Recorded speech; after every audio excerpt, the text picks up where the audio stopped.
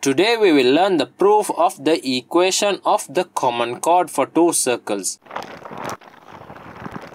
Let's take these two circles S1 and S2.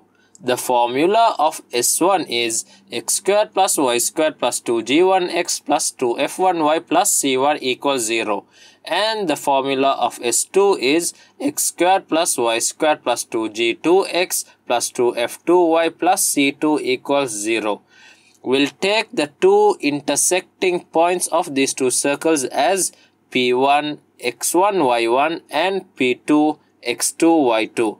The common chord is the line passing through the points P1 and P2. So here P1 will satisfy the equation of both circles because it lies on both circles. So when we substitute the values of P1 x1 y1 into S1 we get x1 squared plus y1 squared plus 2g1 x1 plus 2f1 y1 plus c1 equals 0. So this will be equation 1.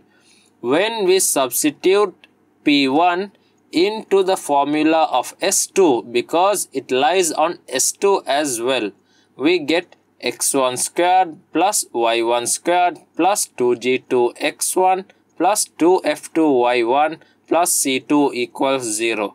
So we can call this equation 2. So when we subtract equation 1 from equation 2, x1 squared and y1 squared cancel off and we get 2 into g1 minus g2 into x1 plus 2 into f1 minus f2 into y1 plus c1 minus c2 equals 0. So this will be equation 3. Similarly, when we substitute p2, we can get 2 into g1 minus g2 into x2 plus 2 into f1 minus f2 into y2 plus c1 minus c2 equals 0.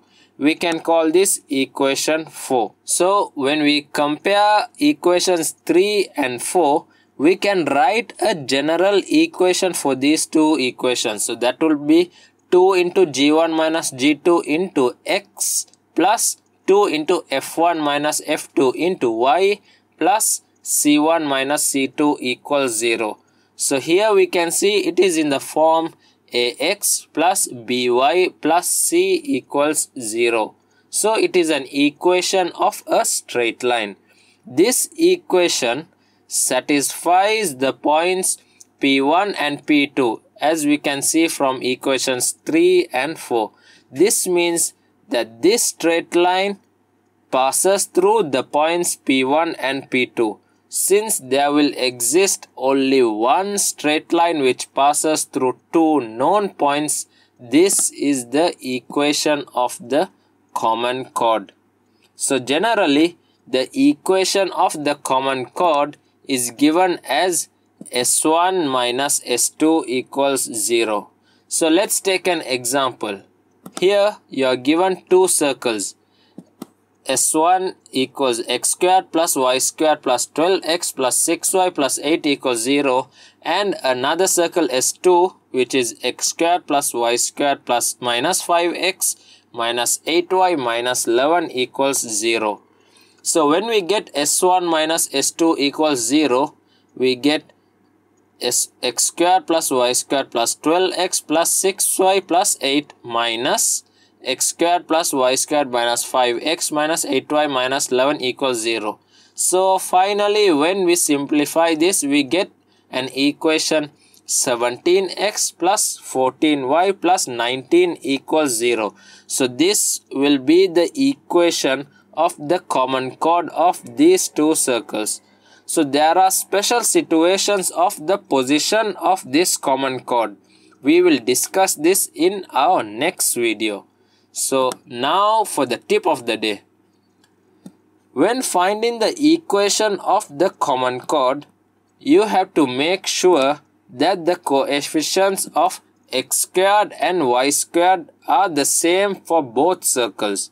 So if you are given a circle x squared plus y squared plus 2x plus 2y plus 5 equals 0 and another circle 2x squared plus 2y squared plus 3x plus 4y plus 7 equals 0, we cannot immediately subtract s1 minus s2 equals 0. What we must do is either we multiply the whole of the first equation by 2 and then deduct the second equation or we divide the whole of the second equation by 2 and then subtract the first equation. So that way we can get the equation of the common chord. So that's all for today's video. Check out the exercises and answers in the description below. Until we meet again, take care.